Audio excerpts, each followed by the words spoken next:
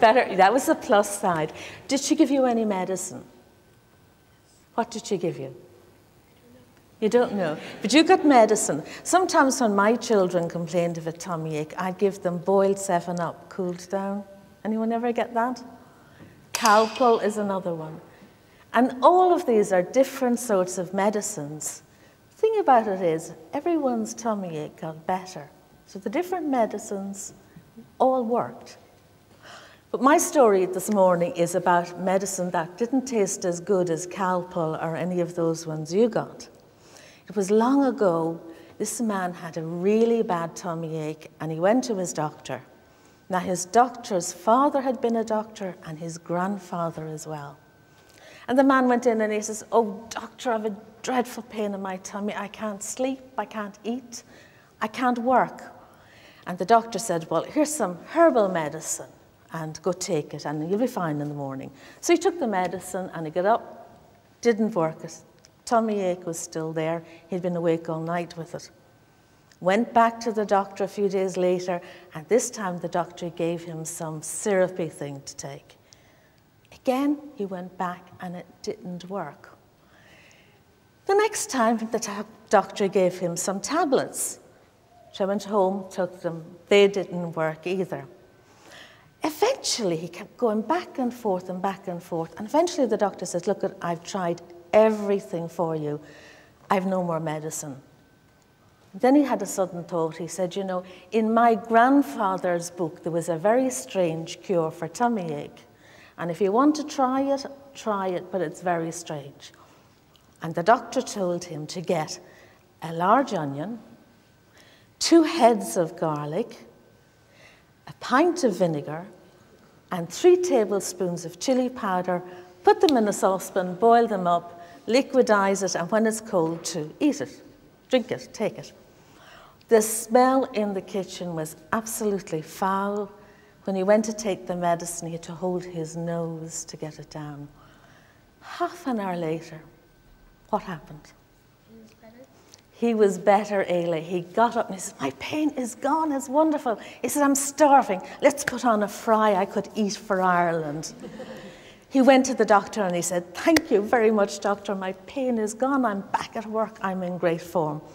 And the doctor got out his notes and wrote, says, I tried this very strange cure of my grandfather's, but it worked great.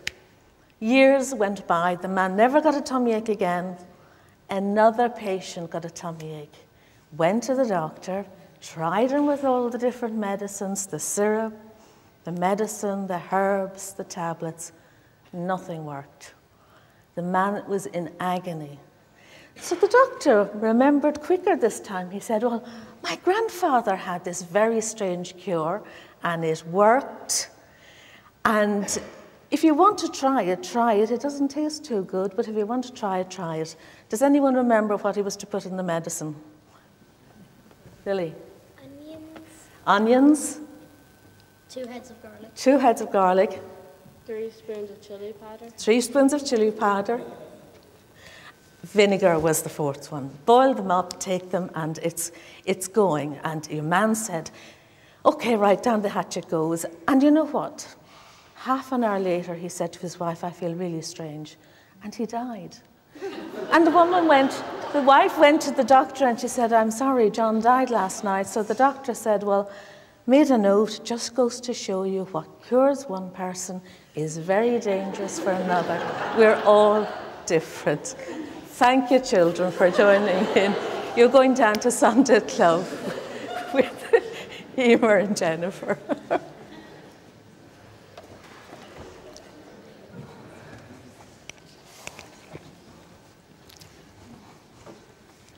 And as the children go down to Sunday Club, we're going to get ready to sing our next hymn this morning.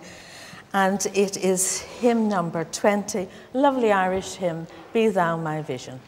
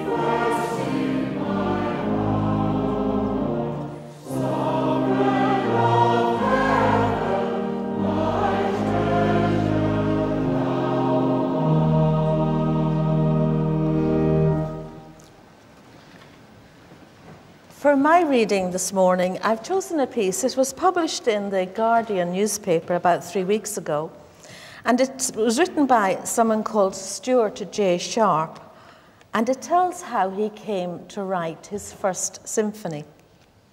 And I chose it because the music that came to Mr. Sharp did not come from his physical senses. So it's an amazing example of a transcendental experience. I grew up being told that I had all the musicality of a brick.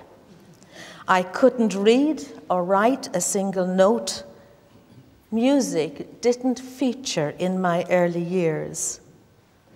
Instead, I became a cook.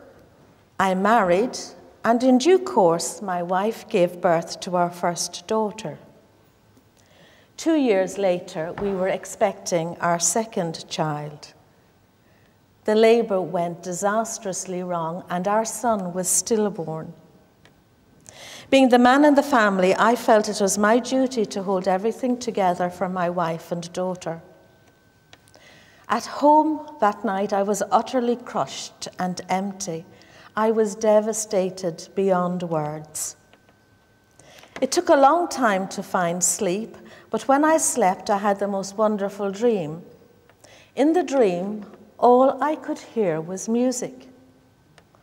When I woke up, I couldn't stop replaying the music in my mind.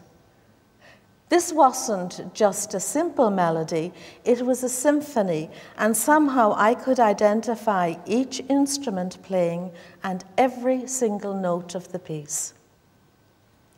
The years passed, my marriage broke up, I moved to London, and at one time I ended up living in a squat. Through all this time, the music of my dreams stayed with me. I bought a guitar for 50 pence in a charity shop and taught myself how to pick out the tune on it. One day, I played the tune for Anthony Wade, who was a professional musician. He liked the tune, but told me that the work of having the music orchestrated would take in excess of £100,000. It took me 15 years to save the necessary cash. When I had enough saved, I sought out Anthony Wade again. He helped me make a demo tape and introduced me to the conductor, Alan Wilson. Needless to say, Alan Wilson was deeply skeptical when he heard that the music I wanted him to orchestrate it had come to me in a dream. When he listened to the demo, he told me that what I had done was the equivalent of doing brain surgery without ever having attended medical school, and that the work had the potential to be a masterpiece. Alan Wilson booked the Philharmonia Orchestra, and 20 years after my dream, I heard the music played exactly as I had dreamed it. I was in tears as I listened to it. Finally, the notes from my dream were released into reality, and the reality sounded every bit as wonderful as the music I heard in my dream. Let us pray. Disturb us, Lord, when we are too well pleased with ourselves when our dreams have come true because we have dreamed too little. When we arrived safely because we sailed too close to the shore. Disturb us, Lord, when with the abundance of things we possess, we have lost our thirst for the waters of life. Having fallen in love with life, we have ceased to dream of eternity and in our efforts to build a new earth, we have allowed our vision of the new heaven to dim. Disturb us, Lord, to dare more boldly, to venture on wider seas where storms will show your mastery. Where losing sight of land, we will find the stars. We ask you to push back the horizons of our hopes and to push us into the future filled with strength, with courage, hope, and love. Amen. And now we're going to listen to a piece of music. It was written by Shari, and she's going to be accompanied by Josh on the piano and Doreen on the flute.